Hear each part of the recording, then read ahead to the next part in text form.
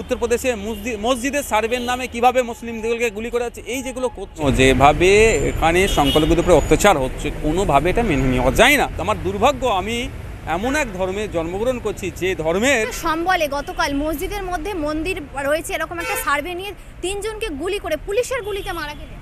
সেটাই তো প্রশ্ন যেভাবে এখানে সংখ্যালঘুদের উপরে অত্যাচার হচ্ছে কোনোভাবে এটা মেনে নেওয়া যায় না। বিজেপি উত্তরপ্রদেশে ক্রমশ কণ্ঠাসা হচ্ছে। এবার উপনির্বাচনে আপনারা দেখেছেন, মুসলিম মহল্লাতে যে বন্দুক তাক করে দিয়েছে, ভোট দিতে পারবে না এই ধরনের। কোনো পুলিশের রাইট নেই, কারও ভোটাধিকার, ভোট কেন্দ্রে যাওয়ার সময় চেক করার তাহলে ওরা করছে কেন? তার লোকসভা নির্বাচনে মুখ থুবড়ে পড়েছে, উদ্ধার করতে হবে। তাদের ভাবমূর্তিটাকে হিন্দু, বৃহত্তর যারা, ওই এক্সট্রিম যারা, সব হিন্দুর কথা বলছি না, যারা এক্সট্রিম তাদের কাছে, তাদের গুড বুকে থাকতে হবে। আবার মানুষের মধ্যে ধর্মীয় ভেদাভেদ তৈরি করে ক্ষমতায় থাকতে হবে। ওদের আবার সামনে লোকসভা নির্বাচন আসছে বিধানসভা নির্বাচন আসছে সেই জন্য এখন থেকে পরিস্থিতি তৈরি করছে।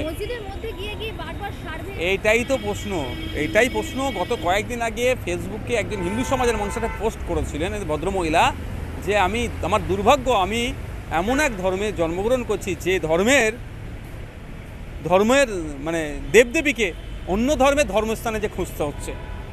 এই ধরনের পোস্ট করেছে না বোঝা যাচ্ছে মানে যে কীভাবে এরা একটা বিষ ছড়াতে চাইছে কিন্তু বৃহত্তর হিন্দু সমাজ এই বিষকে প্রতিহত করছে। আপনি দেখুন মহারাষ্ট্র ইলেকশনে বিজেপি ক্ষমতায় আসলো কিন্তু পার্সেন্টেজ অফ ভোট কিন্তু অনেক কমেছে। তো এইভাবে যে হিংসা করছে যেভাবে ছড়ানোর চেষ্টা করছে এতে বিজেপির ফিউচার নাই আরও ক্ষতি হবে। ছাব্বিশে কি কংগ্রেস বা বামেদের সাথে আবার জোটে যাবেন নাকি একাই দেখুন সময় কথা বলবে এখন আমরা উপনির্বাচনে বামেদের সাথে জো- জোট করে লড়াই করেছি এই সামনে নির্বাচনে কী হবে পরিস্থিতির উপরে বলবে। তবে বিজেপি তৃণমূলের সঙ্গে যাব না। সেই মুসলমানদের উপরে কী অত্যাচার হচ্ছে? কদিন আগে দেখুন, উত্তরপ্রদেশে মসজিদ মসজিদের সার্ভের নামে কীভাবে মুসলিমদেরকে গুলি করা যাচ্ছে এই যেগুলো করছে, সংবিধান এগুলো আঘাত দিচ্ছে। এইগুলোকে আপনাকে, আমাকে ঐক্যবদ্ধ হয়ে আঘাতগুলোকে আটকাতে